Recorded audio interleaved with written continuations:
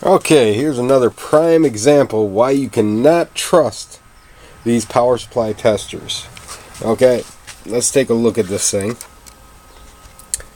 Alright, we got obvious bad capacitor right there. Let's see if I can find something to point with. That one's actually leaking.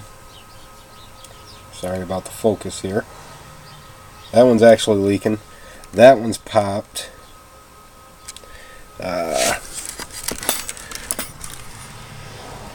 that one there is popped. Uh, that one's bad. That one's bad. The one behind it is bad. And even one of the little ones down here, can't really tell, but it's actually bowed out on the sides. And those are just the ones I can easily see. It even looks like that one, I believe, is also bad.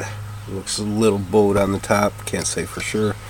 Um, but basically, all these big blue ones are bad, for sure. Those two there. And here's what we get when we run the tester.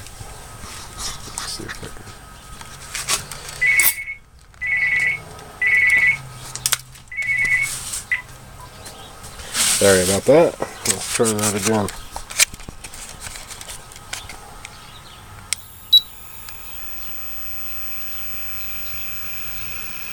Nice steady power. Although you can see over on the left the uh, 5 volt, it'll bounce around a little, which can sort of clue you in a little bit sometimes. But uh, yeah, without a load test, this thing will read good. That's pretty much it. Just another example of why you can't trust these power supply testers.